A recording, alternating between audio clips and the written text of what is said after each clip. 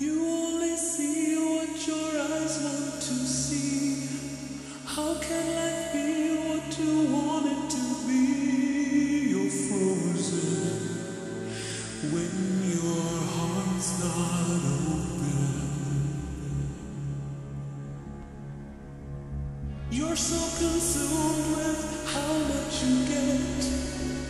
You waste your time with.